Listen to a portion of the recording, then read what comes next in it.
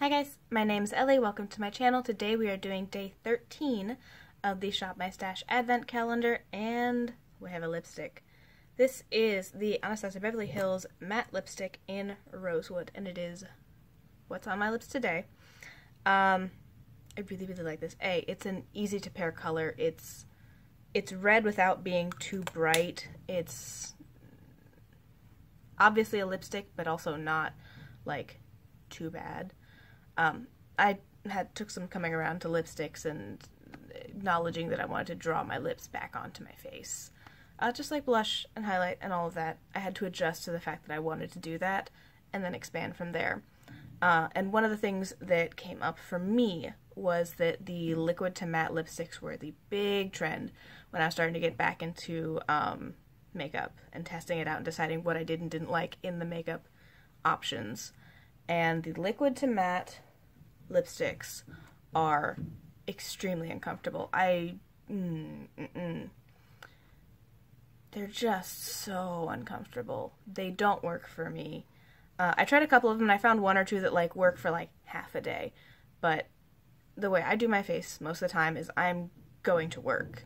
I'm putting it on my face at 7 in the morning and it has to last or be maintainable all the way until 5 p.m. And if I don't you know, go right home after that. It has to handle going out on a date, going to run errands, meeting friends after work, stuff like that. It has to survive, and it has to be something that I don't want to rip my lips off at the end of the day. And liquid to matte lipsticks weren't for me. So, since the community as a whole was so focused on liquid to matte lipsticks, and no, mm-mm, mm-mm. Um, we hadn't come back around to glosses yet. Glosses are starting to come back, which is fantastic for me and my lips that need moisture. Um, something like this coming out, where it allowed a lot of the similar effect, a lot of the long wearing capabilities of a matte lipstick without being horribly uncomfortable. Because I, I put a lip balm on while I'm doing the rest of my face, and I put my lipstick on last, as the last of the balm's kind of sinking into my skin. So it does have a little bit of extra moisture protection, but um, this lipstick itself is actually one that I wore the majority of the month of January when I started my new job and I didn't know what makeup I could and couldn't wear. I knew this was an acceptable lip color. I knew it wore pretty well. It didn't fade funny. Uh, it didn't transfer and it wasn't likely to like, just keep bleeding further and further outside my lip line. Um, and it was, since this is a bullet formula, something I can wipe off, eat my lunch, and put back on because um, liquid to matte lipsticks did not survive lunch and they didn't reapply very well, at least the ones I was using. So, this is a great in between choice for me. So I can have something that I don't really have to worry about throughout most of the day. I don't have to think about whether I've eaten it off, whether it's shifted inside onto my teeth, um, if it's likely to just keep sliding or anything. I can put it on, I can work, and then um, I can also take it off pretty easily for lunch.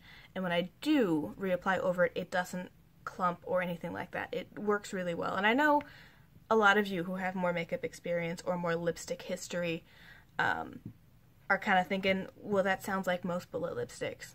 But it was an astounding surprise thing for me to do that and to find a lipstick color that I liked that both worked, in my opinion, for cool and warm looks that could just be my standard, I don't know what I'm wearing, we grab this. So this lipstick color and formula works really, really well for me.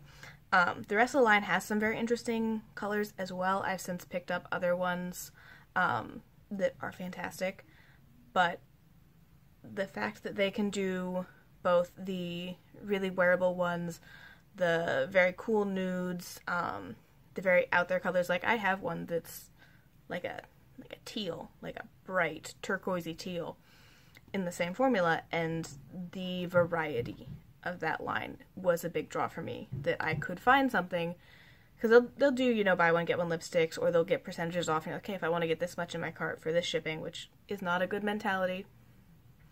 But if you know that's what you're gonna do, and you're looking for stuff, being able to pick out you know one lipstick that you can wear day in day out to work over and over and over again and then like a fun weekend lipstick that's a color or something that you're not as confident wearing every single day. I like having those in the same formula and finding a formula that you like and having those color options within the formula.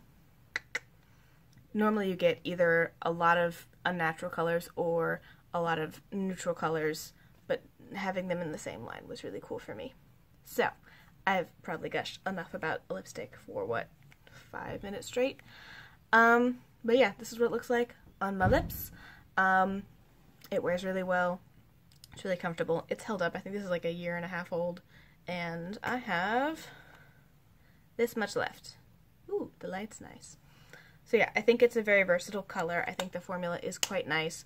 It works very well for me, and I'm glad to see some variety coming back. We're not just all doing liquid to matte because good god did I hate those. I had one or two. One or two that like if you wanted to wear it out, like just for drinks. So put it on, don't eat anything. And then just have like a couple drinks while you're out of the bar or whatever, you'd be fine. But you can also do that with a regular lipstick. So, thank you guys for watching, and I will see you next time. Also, leave your favorite uh, lipstick formulas down below so we can potentially find some other ones that are fun like this.